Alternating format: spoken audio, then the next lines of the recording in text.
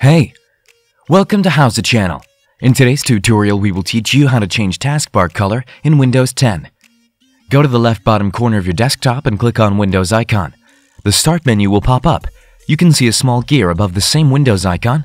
Click on it. It opens a Windows Settings tab. Go to Personalization. Select Colors from the left side menu. You will see a palette of colors. Select the one you like. The window color will change automatically. Scroll down and check Start, Taskbar, and Action Center option. You will see the color of the taskbar. Start menu has changed. Go to Taskbar Search and type REGEDIT. Click on it to open. Click Yes in the pop-up window. Select Software from the left side menu. Click on Microsoft and choose Windows. Click on Current Version and go to Themes.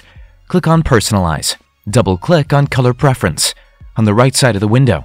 Set Value Data to 2 and click OK. Close the window. Open File Explorer window. You will see it is not green. Close it. Press Ctrl-Shift Escape on your keyboard to open the Task Manager. Look for Windows Explorer process. Right-click on it and select Restart. It now has green as its theme color. So does Start menu and Action Center. Thanks for watching this video.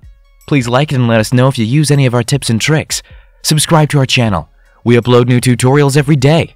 See ya!